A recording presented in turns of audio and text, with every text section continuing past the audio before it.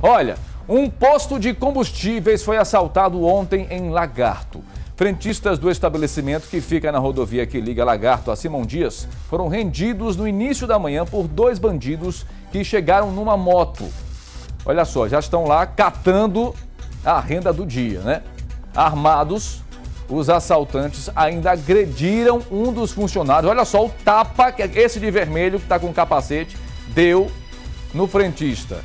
Eles levaram a renda do dia, o valor não foi divulgado, mas é assim, né? O cara assalta, põe a arma na sua cabeça e ainda você tem que tomar um tapa na cara. É, é, é um, um absurdo, é um absurdo.